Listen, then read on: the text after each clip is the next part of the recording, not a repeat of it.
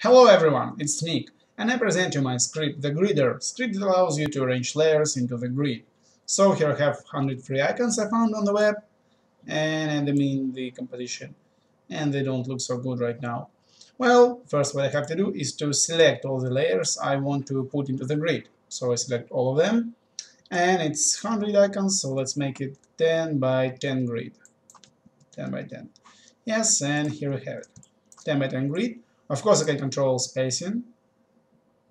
And if I uncheck square grid, then I can control spacing by x and y axis separately. And now I can make them fit the screen. Well, right now script arranges all the layers into exactly 10 by 10 grid, which leads to some complications when you make it, for example, 5 by 10 grid. Right now, it arranges them into 5 by 10 grid and some icons are stacked on top of the others like here. And this may not be the behavior you want. So let's select all of them again and hit only columns button. Right now we get only five columns or we control the number of columns. Like 10, 11, any amount we need. The same goes to rows. Just hit the rows button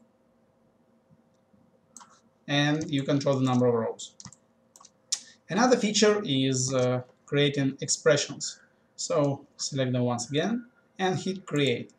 When you do this, the script creates the null object with a lot of sliders to control the grid. And you can animate all this. You can grid square, animate the spacing, animate number of rows, number of columns, set everything like in the script user interface so the expressions basically mimic the script. And after you finished or you don't need this, you just hit bake button and all the expressions are removed and you are free to apply your own expressions and keyframes to position. So this is it, the Gridder.